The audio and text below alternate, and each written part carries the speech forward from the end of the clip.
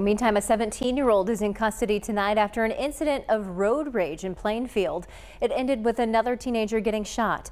Police say it started last night on Main Street when three to four teens in a Dodge Charger exchanged words with three teens in a silver Kia.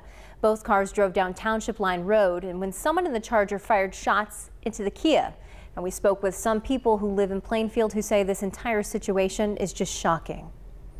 It is sad that it is getting so bad out here that, you know, children are riding up and down the street shooting at each other. Juvenile was taken to Eskenazi and had surgery this morning. We're told he's currently in good condition. A 17-year-old remains in custody tonight. An 18-year-old man and 16-year-old girl were released from custody to their parents. And we spoke to Kimball Richardson, a mental health counselor with Community Health about this incident. He says they're seeing more cases of road rage in recent months and warns incident like this will have a lasting emotional and physical impact on not only the juvenile shot, but everybody involved. If I were a parent to youth or younger children at this point, I would bring it up purposefully to say, let's talk about what happened recently. And let's talk about why this was wrong discuss ways, other ways to, to handle it.